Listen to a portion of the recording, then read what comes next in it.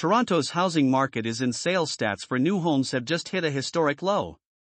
If you're not yet sick of headlines about how desperate of a state Toronto's housing market is in, here's one more for you sales stats for new homes have just hit a historic low. And yeah, it's really low. The Building Industry and Land Development Association, BILD, which represents stakeholders in the GTA's new home sector, has once again released some pretty dreadful figures that paint a worsening portrait of withering activity in what used to be a perennially lucrative market, especially for investors.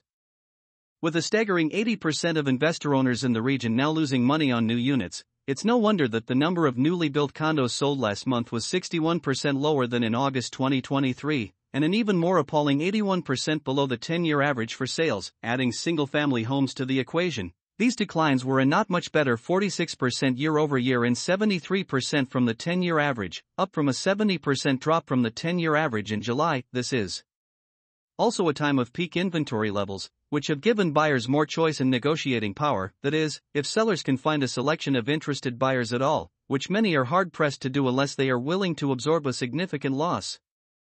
BILD says the number of active listings was slightly down in August versus July, but still at a whopping 21,296 homes, 80% of them condos.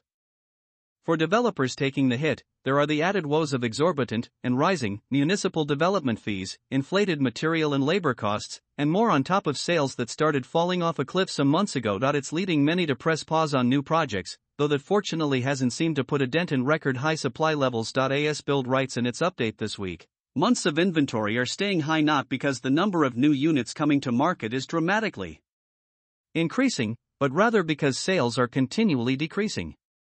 This is an unhealthy situation, because as interest rates decrease, sales will return but it will take longer for new building to recover, setting up a future supply slash demand imbalance.